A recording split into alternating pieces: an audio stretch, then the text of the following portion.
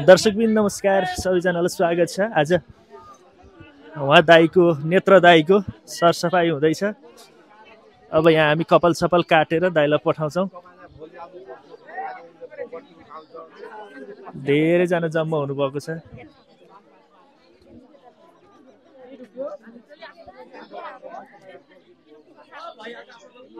अब कपाल सपाल काटेर। बाबु थोरै ल कान्छो ल अब यहाँ दाईको कपाल काट्ने काम हुँदैछ। दिदी के भन्दै हुनुहुन्छ? नजाने। नजाने भन्दै हुनुहुन्छ?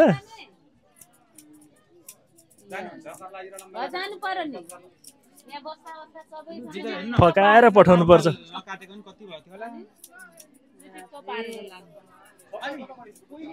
दिदी आफन्त भेटिनुहुन्छ भन्ने लागेको थियो? एकदम तपाईँहरू आएपछि एकदम हन्ड्रेड पर्सेन्ट भेटिन्छ भन्ने थियो।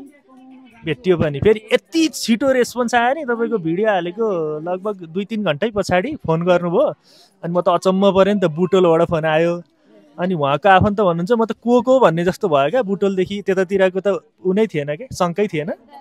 धेरै खुसी। पहिले आफन्त भेटिनु ठुलो कुरा हो। यदि आउनु भएन भने चाहिँ मानव सेवा आश्रम पठाउने भनेको थियो। आफन्त आउनुभयो धेरै खुसी लागेको छ एकदम। म त खानै नखाइ आएको आउनु। दिदी त दिदीलाई कति खुसी लाग्यो होला त यत्रो चार पाँच वर्षदेखि देख्दै हुनुहुन्थ्यो होइन त। देखेको थिइनँ मैले पहिले। तपाईँले देख्नु भएको थिएन मेरो घर अब अलिकति टाढा। अनि यहाँ चाहिँ भर्खर मात्रै खबर भएको कि मलाई यस्तो यस्तो दाई हुनुहुन्छ। मैले अरू पनि मानव सेवा आश्रममा पठाएको थिएँ।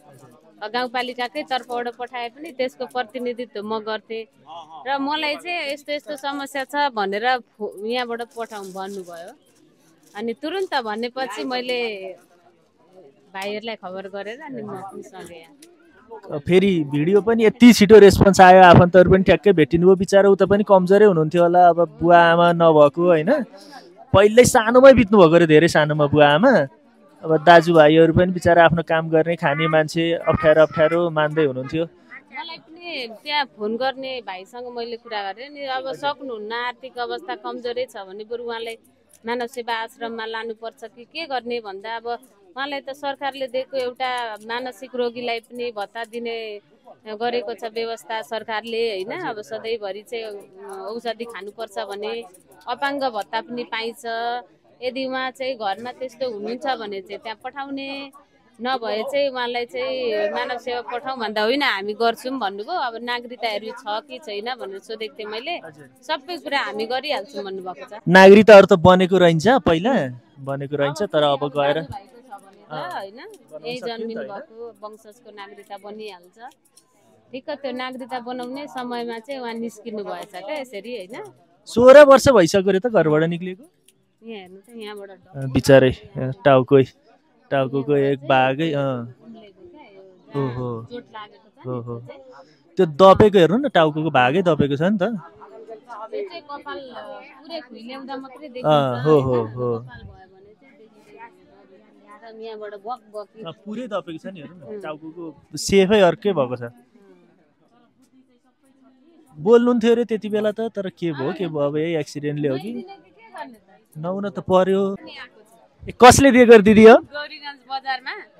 शान्ति कपडा पसल भन्ने दाजु हुनुहुन्छ। उहाँले चाहिँ ल त्यसो म चाहिँ यहाँ ज्याकेट छ सुरुवाल छ टोपी छ मोजा छ। त्यति चाहिँ यहाँ दाजुले दिनुभएको एक सेट चाट्टै भयो नि त होइन? यो जाडोमा चिरी च्याट्टा पार्नुभयो। ल शान्ति कपडा पसलको आदरणीय दाई दिपेन्द्र रौनियार हुनुहुँदो रहेछ। उहाँलाई पनि एकदमै धेरै धन्यवाद। तपाईँको सहयोग यस्तो मान्छेलाई त यति सहयोग भनेको एकदमै ठुलो सहयोग। भएको छ. धेरै धन्यवाद दाईलाई नि. अब यहाँ हामी दाईलाई नुहाइ धुवाइ गरेर कपडा सपडा चेन्ज गराएर पठाउँछौँ फकाएर जसरी पनि पठाउँछौँ। होइन त दिदी? पठाउनुपर्छ नि। अनि? माया लाग्छ। अब यहाँ त बिचरा माया लाग्छ तर आफन्त भनेको आफन्तै हो। अनि आफन्त पत्ता लाग्यो नि? खुसी लाग्यो? हो। अनि यस्तो छिट्टो पत्ता लाग्यो नि। लागेको थियो यति छिट्टै पत्ता लाग्छ। आउनु होला कोही भन्ने? मलाई त पहिला खासै लागेको थिएन तर पनि तपाईँहरूमाथि विश्वास थियो मलाई। अनि अब धेरै वर्ष भएछ नि त यहीँ छ सात वर्ष आठ वर्ष भएछ उहाँ घरबाट निक्ले सोह्र सत्र वर्ष। पन्ध्र सोह्र वर्ष कि कति अरे निस्किनु भएको अघि उहाँको बुहारीसँग कुरा गरेको। ए कुरा गर्नुभयो इन्डिया कमाउनु जान्छु भनेर निस्किएको बिचरा। यहाँ आएर बस्नुभयो होइन? उहाँहरूलाई पनि त्यति टाढाबाट अब यतातिर शुभ सङ्केत त केही भएन नि त अब यतातिर हुनुहुन्छ कि हुनुहुन्न भन्ने। अनि आज अब जाँदाखेरि छोड्दा त अलिअलि दुःख त लागिहाल्छ नि होइन? कस्तो दुःख लाग्छ? म त यहाँ पसलमा हुँदाखेरि ऊ अङ्कल आउनु न खानेकुरा दिन्छु नि त। अनि अस्ति सामानहरू त्यो फर्म र तन ओढ्ने दिएको छ नि त। अनि मैले हिजो भनेको अङ्कललाई उहाँलाई चाहिँ दिन खोज्नु भएको। मैले भने ओढ्नु न ओढ्दिन लानु भन्छ। अनि मैले डर देखाएको। उहाँ दाईहरू आउँदा त कराउनु हुन्छ राख्नु। भनेको फेरि टेर्दैन। अँ। बिचरा अब एकरो हुन्छ नि त अब यो मानसिक अवस्था अलिकति कम भएको मान्छे अब यहाँ यत्रो समयदेखि हो नि? अस्ति लुगा ल्याइदिएको मेरो हस्बेन्डको होइन? त्यो नयाँ टी सर्ट थियो अनि एक जोडी चप्पल राम्रो छ चप्पल पनि दिएको। लाउँदैन हिजो भनेको किन लाउनु नभएको? अँ लाउँदिनँ यही ठिक छ भन्छ। अहिले पनि घर जाने भनेको कहाँ नजाने नजाने भन्दै हुनुहुन्छ तर हामी फकाएर पठाउनु पर्छ नि त आफन्त भेटिसके पछाडि होइन? दाई नमस्कार। नमस्कार। अनि अस्ति कुरा भएको थियो तपाईँसँग कि त्यही भएर फेरि आज पनि त्यो थोरै लिनु मन लाग्यो। उहाँको आफन्त भेटिनु भयो कस्तो लाग्यो? मलाई राम्रो लाग्यो एकदम यति सुन्दर राम्रो लाग्यो कि यति उद्धार गर्नुभयो एकदम धेरै धेरै राम्रो लाग्यो। यस्तै उद्धार गर्दै गर्नु तपाईँ धेरै आयो बढ्नु तपाईँको। म पनि फोन नम्बर लिन चाहँदैछु त्यसकै लागि किनकि कोही मान्छे यस्तो बेथारमा पऱ्यो भने अनि त्यसलाई सेवा गर्नुको लागि धेरै धेरै धन्यवाद तपाईँलाई मैले। मौका अँ, मौका यो मैले तपाईँको बुहारीले पनि त्यहाँ कहिले काहीँ कपडा सपडा ल्याइदिने खानासाना दिने गर्नुहुँदो रहेछ। उहाँ हुनुहुन्छ कति राम्रो मान्छे। यस्तो मान्छेलाई सहयोग गर्नुपर्छ नि त होइन बुवा? अनि चिया पनि बिहानदेखि खुवाएको खुवा खानु चिया खानु अनि फेरि खाना पनि खानु खाना खायो। फेरि अँ बेलुका फेरि सोध्छु खाना खायो। अँ खायो। कता खायो? कहाँ कसले खिलायो? ख्या- खुवायो न भने ल्याइदिन्छु। अनि खुवायो भन्दैछ। अनि ल ल खुवायो भने ल ठिकै छ त। अनि आफन्त भेटिएकोमा त खुसी हुनुहुन्छ एकदम खुसी छु म। धेरै धेरै खुसी छु म। यस्तो बिजुक छ यहाँ बसेको छ मलाई धेरै माया लाग्यो। अनि मैले भन्दैछु यो आफन्त मान्छे भेट्यो भने यति राम्रो हुन्छ। आश्रममा लग्यो भने राम्रै हुन्छ। म एक दिन सोचेको थिएँ कि यसलाई आश्रममा लगेर छोडिदिउँ। त्यो हाम्रो एउटा छ नि त्यो गुरु बहिनीहरू छ आश्रम धेरै ठुलो खोलेको छ। त्यहाँ सम्पर्क गरेर त्यही ठाउँमा पुर्याइदिँदा राम्रो हुन्छ। यसलाई सेवा गर्नुको लागि मान्छे छैन यहाँ। अब यो सबै मान्छे त यस्तो अब बटार छ अलिकति पैसा दिन्छ कोही दिँदैन। त्यो बेजिक हुन्छ नि। भोकले कनार काट्छ अनि काप त यस्तो कामिन्छ जाडो मौसम पनि छ होइन? अनि म फेरि भन्छु कपडा छैन? घरभित्र कपडा छ होला। त्यो ओरेर बस्नु नि भित्र। किन बाहिर निस्केको? नोकर राखेको छ कसैले? अँ छैन। फेरि मैले भन्छु चिया खाएर चट्ट बस्छ भित्र। अनि फेरि बाहिरै बस्छ अनि मैले धेरै उसलाई सेवा गरेको। खानु लागि खानु। ल दाइ आज चाहिँ हामी अब फकाइ फुलाइ गरेर पनि लैजान्छौँ। भन्दै हुनुहुन्थ्यो कि म जाँदिनँ भन्दै हुनुहुन्थ्यो अघि होइन इसारामा। बिचरा अँ, बिचरा अब फेरि यस्तो हो नि त मानसिक अवस्था त्यति ठिक छैन बुझ्नुहुन्न जान्नुहुन्न होइन त? अनि हुन्छ हामी फकाएर लिएर जान्छौँ। तपाईँहरूले माया गर्नुभयो यतिन्जेल राख्नुभयो जे होस् होइन? आफ्नो पनि कमजोरी होला आफ्नो पनि दुःख होला पीडा होला त्यो बिचमा पनि राख्नुभयो नि त। अनि अब कसले के भन्छ भन्ने सुन्ने होइन तर सेवा गर्नलाई चाहिँ सधैँ अगाडि बढ्नुपर्छ। ल दाइ। मैले यही कुरो भन्दैछु कि मनमा तपाईँ जस्तो मेरो पनि यस्तै छ एउटा आँख छैन खुट्टा पनि यस्तो छ। मैले पनि कुनै कुनै बेलामा सोच्दा मेरो याद आउँछ। क्या। रुन्ने याद आउँछ। कि मेरो पनि यस्तै होला कि पछि धेरै आउँछ हुन्छ। दाइ ल उहाँहरू यता हुनुहुन्छ। उहाँहरूको पनि यस्तो कति यहाँ बाउजू नमस्कार नमस्कार। तपाईँले त साह्रै चित्त दुखाउनु है क्या? कसले गा कसले गाली। आउँछ तपाईँले यति राम्रो नेपाली बोल्नुभयो किन नआउनु होइन? दुइटा दुइटा शब्द बोल्नु पर्यो नि त दिदी त। अनि तपाईँहरूले त अब नजिकै छिमेकी बनाएर राख्नु भएको थियो होइन। अब बिचरा तपाईँहरूको आफ्नो दुःख छ यस्तो सानसानो पसल गरेर बस्नु भएको छ। अरूले के भन्छ भनेर सुन्ने होइन दिदी ल।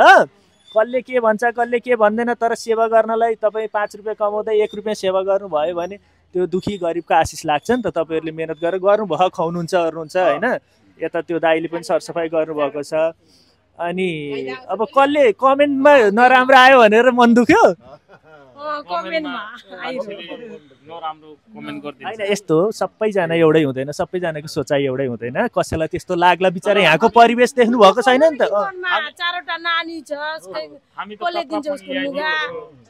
होइन दिदीहरूलाई पनि त आफ्नो दुःख छ नि त तर थाहा हुँदैन नि त नदेख्नुलाई। यहाँ आएर देख्नेलाई पो थाहा हुन्छ। आफ्नो दुःख पीडा गरेर बस्नु भएको छ राम्रो राम्रो ल्याइदिएको लुगा लगाउँदैन। हामी कपडा ल्याइदिन्छु लुगा ल्याइदिन्छु। मैले राम्रो? कपडा लुगा ल्याएर दिएँ। मैले सोचे अस्ति ज्याकेट पनि दिन्छु यसलाई। अब यस्तो अब पुर त्यो नयाँ लुगै लगाउँदैन। अब हामी के गर्नु। अनि दिदी अब आफन्त भेटिनु भयो घर जाँदै हुनुहुन्छ खुसी त लाहा नि। अँ, खुसी छु म। अनि छोडेर अब यहाँ बसिरहनु भएको थियो छिमेकी फेरि दुःख पनि ला होला। ला हुन्छ एकदम। यहाँ हुनुहुन्छ। है गाईको यहाँ नुहाइ धुवाइ हुँदैछ। अँ, कपाल काटिसके पछाडिको नुहाइ धुवाइ दाजु कस्तो लाग्यो? फर्स्ट क्लास मजा आयो नि। साह्रै मजा पो आयो त होइन। उहाँले परिवार पाउनुभयो त्यही नै सबैभन्दा कुरो। किनभने हामीले सोचे भन्दा राम्रो भयो। हामीले चाहिँ के भने आश्रमसम्म पुर्याउन सकेला कि मानव सेवा आश्रमले त अब उहाँहरू जस्तोलाई हेर्नुहुन्छ भनेर सोचेको थियौँ। आश्रममा कुरा नगर्दै परिवारसँग कुरा गर्न पाइयो यो त यो त फेरि आश्रमको लागि पनि खुसीको खबर उहाँहरूले त परिवार हुँदाखेरि त परिवारकै रहन सहनमा रेखदेखमा हुँदाखेरि साह्रै खुसी हुनुहुन्छ नि त उहाँहरू पनि। मानव सेवा आश्रमको पुनर्मिलन हुन्छ नि परिवारसँग। त्यो हुन्थ्यो। आश्रममा लगे पनि ढिलो चाँडो परिवार पत्ता लाग्थ्यो। तर आश्रम पुर्याउनु पहिले नै पत्ता लाग्नु भनेको चाहिँ यो चाहिँ आश्रममा उहाँहरू जस्ता तर परिवार नभएकाका लागि चाहिँ ठाउँ भयो। ठाउँ भयो अनि दुई स्टेप छिटो काम पनि भयो। त्यो पनि भयो। अनि उहाँ अहिले परिवारसँग आउनुभयो परिवारको माया ममता सहितको यो अहिलेको यो पुनर्मिलन चाहिँ एकदम उहाँ होसभन्दा बाहिर भएर भेटेको भए सायद परिवारसँग जान मान्नुहुन्न थियो होला। उहाँको शरीर मात्रै एकदम त्यो यो पाटो चल्दैन नि त। तर उहाँको दिमागले परिवारलाई राम्ररी छुट्याएर उहाँ मनोरोगी होइन क्या? शारीरिक रूपमा चाहिँ उहाँ कमजोर हो। जे होस् अँ, चार पाँच वर्ष यसरी बिताउनु भयो त्योभन्दा अगाडि कहाँ कहाँ बिताउनु भयो त्यो सोह्रै वर्ष भइसकेको छ घरबाट निक्लिएको त्यसपछि कस्तो अवस्था थियो होइन? त जे होस् अब अहिले चाहिँ राम्रो भयो। परिवारसँग भेट भयो। परिवार पनि यहाँको होइन का कहाँको हुनुहुँदो रहेछ त्यही पनि उहाँ अब आफन्त भनेपछि दौडेर आइपुगिहाल्नु भयो रातारात आउनुभयो। अब हामीले हाम्रो कामना चाहिँ यही छ उहाँ शारीरिक रूपमा कमजोर हुनुहुन्छ उहाँको लागि चाहिँ सरकारले एउटा भत्ता हुन्छ नि। त्यो व्यवस्था नागरिकता बनेको रहेछ त्यो व्यवस्था चाहिँ त्यहीँका स्थानीय जो जो हुनुहुन्छ लुम्बिनीबाटै हुनुहुन्छ होला सायद उहाँहरू होइन? त्यहाँबाट गरिदिनु भयो भने त्योभन्दा ठुलो धर्म चाहिँ केही हुँदैन त्यही ओके। ल उहाँको सरसफाइ यहाँ हुँदैछ नुहाइ धुवाइ ट्याक्क उहाँ भाउजू बिचरा कति मिहिनेत गरेर गर्दै हुनुहुन्छ त्यहाँ। भाउजू नै बसेर च्याट्ट उहाँ नुहाइ धुवाइ गराइदिँदै हुनुहुन्छ त्यहाँ हुनुहुन्छ। यहाँ तल चाहिँ नुहाइ धुवाइ हुँदैछ उहाँको भान्जा हुनुहुन्छ उहाँ चाहिँ। उहाँ भाउजू हुनुहुन्छ यता पानी हालेर नुहाइ धुवाइ गरिदिने भान्जा हुनुहुन्छ। चिरी च्याट्ट कपाल काटे पछाडि सरसफाइ कति चिरी च्याट्टै पारिदिनु भयो उहाँले। कस्तो अग्रसर दाइ तेह्र चौध वर्ष है।